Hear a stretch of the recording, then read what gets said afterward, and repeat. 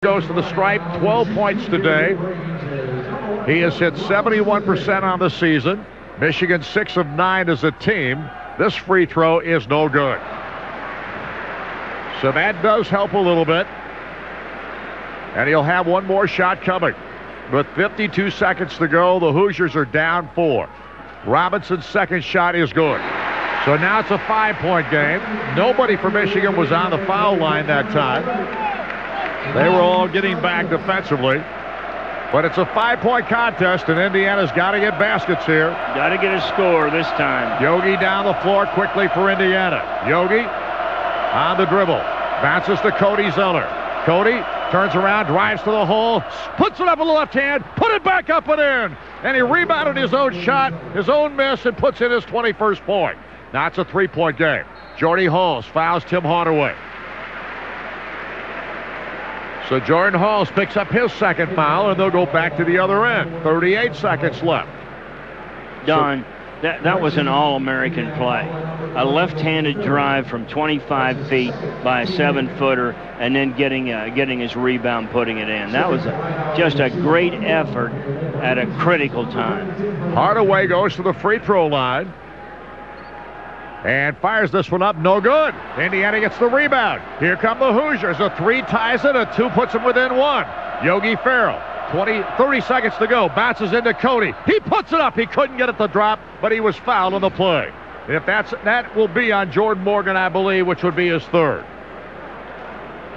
So Jordan Morgan called for the personal. He's got three. Cody Zeller will go to the free throw line. He gets two shots trying to make this a one-point game. 29 seconds to go.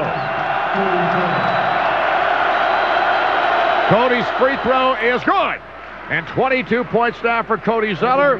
He will try to make this a one-point game. He struggled with his free throw shooting early in this contest. Will Sheehey back on defensively. Jordan Hulls to the sideline. Oladipo, Watford, Zeller, Sheehey, and Ferrell the lineup for Indiana. Zeller eyes number two. He flies it, and he hits it. And Cody Zeller's got his third, 23rd point. It is 71-70 Michigan. Here's Burke, and he's fouled. And this guy doesn't miss at the line very often. He didn't hit one of two in the first half of this ball game, but he hasn't shot a free throw since then. He's got 20 points for the contest. And now Burke goes to the free throw line trying to make this a three-point game. 27.9 seconds to go. Hulls comes back in. Sheehey sits back down. The offense defense changes for Indiana. Trey Burke goes to the line with 20 points. And Burke eyes the first attempt. It is up and it is no good. He missed it. Indiana gets the rebound. Zeller has the ball with Jordan Hulls. Indiana can take the lead. Now, Yogi Ferrell drives it to the right side. Works down by Burke. Bounces into Cody. Puts it up. Scores! Cody Zeller, his 25th point of the afternoon. And that's a season high in points. Now, 10 seconds to go. Trey Burke takes it to the left side. Down inside he goes. He puts it up with the left hand. No good. Tipped up. And no good again. Batted away. Tipped into Cody. Indiana's going to win it. They win it. Indiana has won it. Holy cow, what a finish! Indiana beats Michigan 72 to 71, and they win the Big Ten title outright. Unbelievable. Victor Oladipo laying flat on his stomach down on the floor. He is elated. And the Hoosiers are shaking hands now. And here's Vic still on the floor, coach. He is overcome with emotion. And now he's going to get up and get the shake hands line what a win for Indiana. Oh, what, what a finish. Wow.